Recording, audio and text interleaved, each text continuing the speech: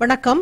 இன்னைக்கு நாம பார்க்க போகிறது என்னோட சேனலில் இதுக்கு முந்தின ப்ளவுஸுக்குள்ள ஸ்லீவை தான் நாம் இப்போ கட் பண்ணி தைக்கிறத பார்க்க போகிறோம் அதுக்கு முன்னாடி இது வரைக்கும் இந்த சேனலை சப்ஸ்கிரைப் பண்ணாதவங்க சப்ஸ்கிரைப் பண்ணுங்கள் என்னோட சேனல் நேமுக்கு பக்கத்தில் இருக்கிற சப்ஸ்கிரைப் பட்டனை கிளிக் பண்ணுங்கள் உடனே பக்கத்தில் வர்ற பெல் ஐக்கானையும் கிளிக் பண்ணுங்கள் நான் எப்போல்லாம் வீடியோ அப்லோட் பண்ணுறனோ அப்போல்லாம் உங்களுக்கு ஒரு நோட்டிஃபிகேஷன் வந்துடும் என்னோட வீடியோக்களை நீங்கள் தவறாமல் பார்க்கலாம்.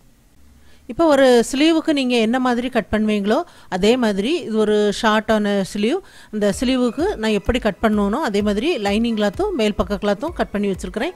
அதுக்கு கீழே பேப்பர் கேன்வாஸில் அதே அளவுக்கு நான் கட் பண்ணி வச்சுருக்கிறேன். இப்போ கீழே இருந்து ஒரு இன்ச் அளவுக்கு நம்ம அடையாளப்படுத்தலாம்.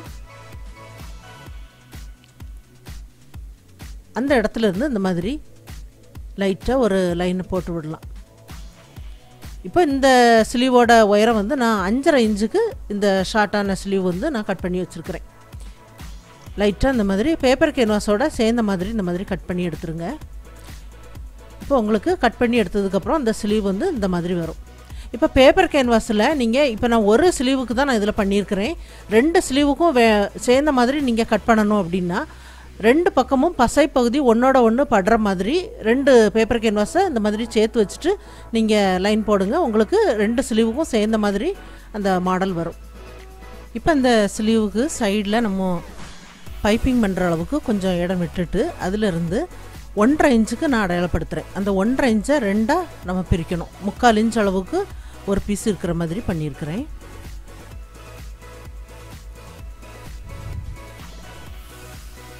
இப்போ அப்படியே அந்த லைனை கொஞ்சம் அந்த மேலே கொண்டு இந்த மாதிரி வளைவாக நம்ம விடலாம்.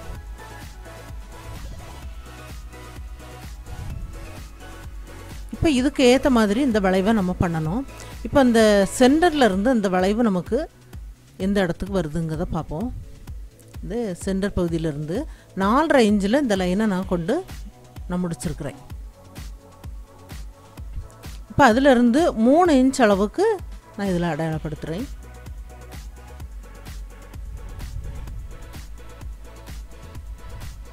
அதையும் அதுக்கு ஏற்ற மாதிரி இந்த வளைவை நீங்கள் கொண்டு முடிங்க. அதுக்கு சென்டரில் ஒரு லைன் போட்டு விட்டுறலாம். இப்போ இதில் நம்ம வரைஞ்சி விட்ட பகுதியில் அப்படியே நம்ம கட் பண்ணி எடுக்கலாம்.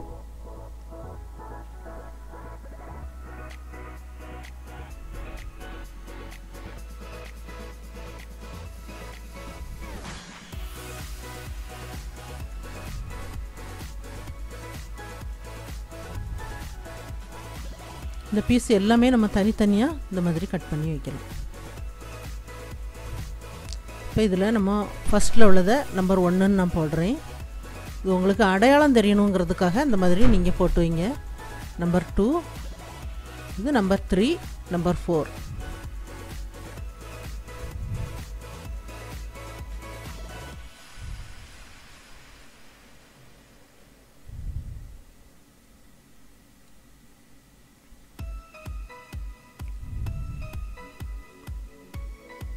இப்போ நம்பர் டூவும் நம்பர் த்ரீயும் ஒரு கலர் நம்பர் ஒன்றும் நம்பர் ஃபோரும் ஒரே கலரில் இந்த மாதிரி பண்ணுவோம்.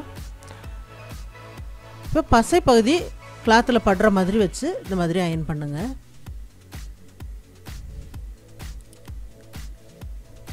இன்னும் ரெண்டு பீஸை பிங்க் கலரில் அயன் பண்ணி வைக்கலாம்.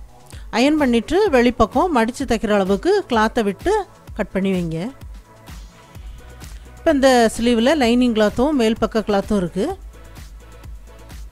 இப்போ இந்த ஸ்லீவுக்கு கீழே கால் இன்ச் அளவு அந்த கிளாத்தை விட்டுட்டு நான் ஜாயிண்ட் ஆக்குறேன்.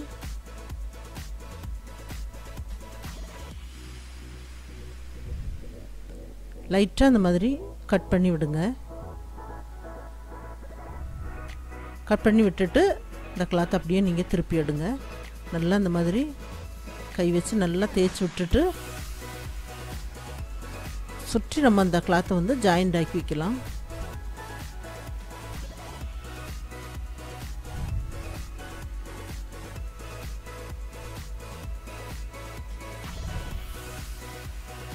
இப்போ ஜாயிண்ட் ஆக்கி வச்சதுக்கப்புறம் இது பைப்பிங் பண்ணுறதுக்காக ஒன்னே கால் இன்ச் அகலம் உள்ள கிராஸ் பீஸ் ஒன் சைடாக மடித்து தைக்கிறேன். இப்போ ஒரு சைடாக மடித்து தைச்சதுக்கப்புறம் இப்போ இதில் வந்து நம்ம ரெண்டு பீஸாக நம்ம வைக்கணும். சென்டரில் வந்து தனியாக அந்த பீஸை வந்து கட் பண்ணி எடுக்கிறேன். சென்டர் வரைக்கும் நமக்கு ஒரு பீஸ் அந்த மாதிரி அடிப்பக்கமாக வச்சு நம்ம ஜாயிண்ட் ஆக்கணும். கரெக்டாக அந்த சென்டர்லேருந்து கொஞ்சம் உள்ளுக்கும் அந்த கிராஸ் பீஸ் இருக்கிற மாதிரி தச்சு விடுங்க. இந்த பகுதி வந்ததுக்கப்புறம் அப்படியே நீங்கள் ஸ்டாப் பண்ணிவிட்டு எடுத்துருங்க. இப்போது தச்சு விட்டுருக்கக்கூடிய அந்த லைன் தெரியுது பாருங்கள் அந்த இடத்துல த்ரெட்டை வச்சு அப்படியே கவர் பண்ணும்போது த்ரெட் பைப்பிங் ரொம்ப நல்லா வரும்.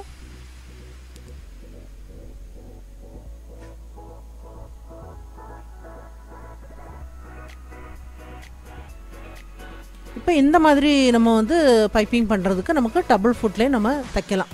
இப்போ நீங்கள் தனியாக பைப்பிங் வந்து கிளாத்தில் வச்சு ஜாயிண்ட் ஆக்கிக்கிட்டு தைக்கிறதா இருந்தால் அது சிங்கிள் ஃபுட்டில் நீங்கள் ஜாயிண்ட் ஆக்கணும். இந்த மெத்தடுக்கு நீங்கள் டபுள் ஃபுட்லேயே தைச்சி விடலாம்.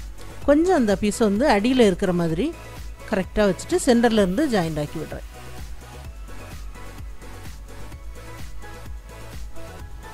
இப்போ இதுக்கும் நம்ம த்ரெட் வச்சு பைப்பிங் பண்ணலாம். இந்த மாதிரி தைக்கிறதுக்கு ஒரு பீஸை நம்ம ஜாயிண்ட் ஆக்குனதுக்கப்புறம் த்ரெட்டை வச்சு நம்ம பைப்பிங் பண்ணினதுக்கப்புறம் அடுத்த பீஸை நம்ம ஜாயிண்ட் ஆக்கி பைப்பிங் பண்ணணும்.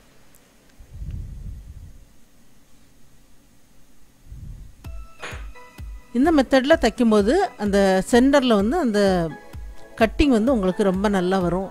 இந்த மாதிரி ரெண்டு பீஸாக நம்ம வைக்கும்போது அந்த டிசைன் வந்து ரொம்ப நல்லா வருது உங்களுக்கு. எக்ஸ்ட்ரா இருக்கக்கூடிய பீஸ் எல்லாமே நம்ம கட் பண்ணி எடுத்துடலாம். இப்போ இதில் உள்ளுக்கு கொஞ்சம் கிளாத் இருக்குது ஒரு ஃபுட்டோட அளவுக்கு வெளிப்பக்கம் ஒரு தையல் நம்ம போட்டு விடலாம்.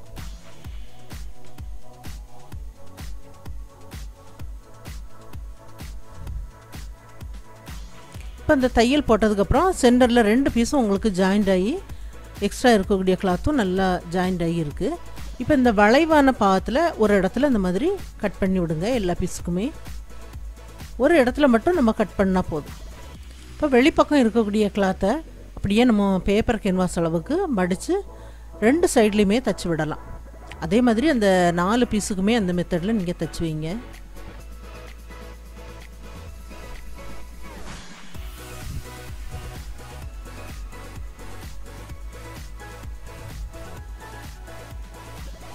எல்லா பீஸுமே நான் அந்த மாதிரி ஜாயிண்ட் ஆக்கியாச்சு. இப்போ ஃபஸ்ட்டில் வந்து நான் அந்த ப்ளூ கலர் பீஸை நான் ஜாயிண்ட் ஆக்குறேன். சைடில் இருந்து நம்ம அந்த பீஸை வந்து கரெக்டாக வைக்கலாம். அந்த மாதிரி வச்சுட்டு வரும்போது உங்களுக்கு அந்த சென்டரில் அந்த பீஸ் வந்து எந்த இடத்துல அந்த மேலே வருதோ அதை கரெக்டாக அந்த மாதிரி வச்சுட்டு ஜாயிண்ட் ஆக்குங்க. இப்போ இதில் ரெண்டு சைட்லேயும் நம்ம ஜாயிண்ட் ஆக்கி விடணும்.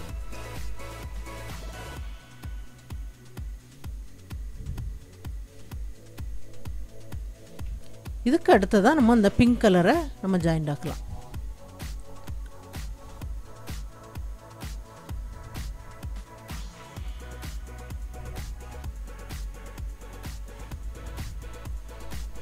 ரெண்டு பீஸும் இந்த மாதிரி சேர்ந்து இருக்கிற மாதிரியே ஜாயிண்ட் ஆக்கி விடுங்க.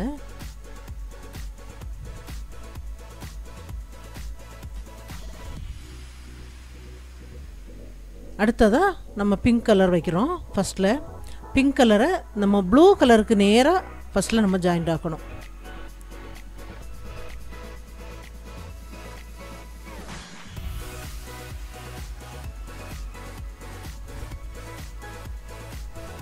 இப்போ அடுத்த பீஸை பிங்க் கலருக்கு நேராக வச்சு ஒன்றோட ஒன்று அந்த சேர்ந்து இருக்கிற மாதிரி அந்த பீஸை நம்ம ஜாயிண்ட் ஆக்கி விடணும்.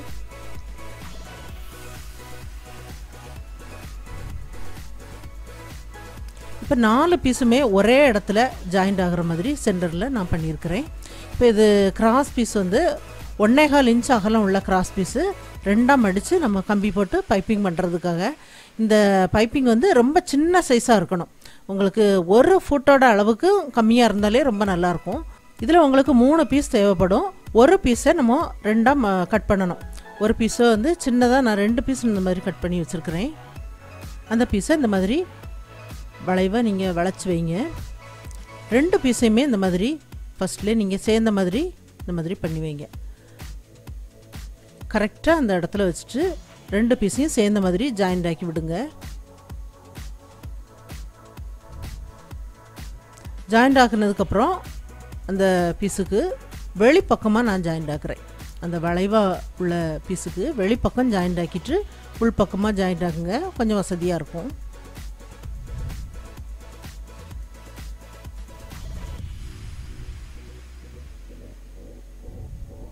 இதில் எக்ஸ்ட்ரா இருக்கக்கூடிய கிளாத்தை இந்த மாதிரி கட் பண்ணி விட்டுட்டு அந்த பைப்பிங் வச்சு நம்ம ஜாயிண்ட் ஆக்கலாம்.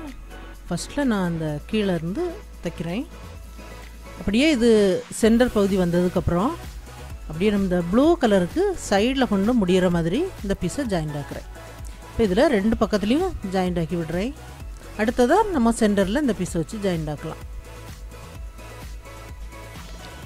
இந்த பீஸை நீங்கள் சென்டர்லேயே அப்படி கொண்டு விட்டுருங்க.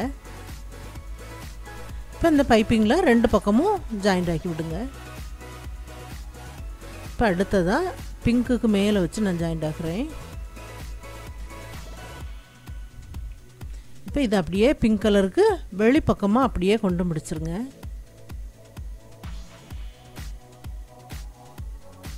இப்போ இதில் மூணு பீஸும் நம்ம ஜாயிண்ட் ஆக்கியாச்சு. இந்த பீஸில் இன்னொரு பக்கத்துலேயும் ஜாயிண்ட் ஆக்கி விடுறேன். இப்போ இது ஒரு ப்ளைனான பெரிய சைஸ் பட்டன் இப்போ இந்த பட்டனை இந்த மாதிரி ப்ளவுஸோட கிளாத்தில் வச்சு அப்படியே சுற்றி நல்லா டைட்டாக இந்த மாதிரி முடிச்சு போட்டு விட்டுருங்க. இந்த கிளாத்தெல்லாம் நம்ம கட் பண்ணி எடுத்துடலாம். இப்போ இதில் அடிப்பக்கத்தில் நீங்கள் அந்த நீடில் விட்டு பார்த்தீங்கன்னா தெரியும். அதில் உள்ள ஹோல் நாலு ஹோல் இருந்தது. இப்போ இதில் நம்ம கோல்டு கலரில் பீட்ஸ் வந்து ஒரு நாலு பீட்ஸ் இந்த மாதிரி வச்சு விட்டோம்னா இந்த பட்டன் வந்து ரொம்ப நல்லாயிருக்கும் இப்போ நாலுமே நம்ம தச்சு முடித்ததுக்கப்புறம் அதை அப்படியே நீங்கள் இந்த சென்டரில் வச்சுட்டு இது அப்படியே நீங்கள் அதில் ஜாயிண்ட் ஆக்கி விட்டுருங்க. இப்போ கீழே கொண்டு முடிச்சு போட்டு எடுத்துருங்க. இப்போ சூப்பராக நமக்கு அந்த ப்ளவுஸுக்கு ஏற்ற மாதிரி ஸ்லீவ் வந்து ரெடி ஆகிட்டு பாருங்கள் இந்த ஸ்லீவ் ரொம்ப அழகாக இருக்குது இப்போ இந்த ஸ்லீவ் வந்து உங்களுக்கு அந்த ப்ளவுஸுக்கு தான் உங்களுக்கு நீங்கள் போடணும் அப்படிங்கிறது இல்லை.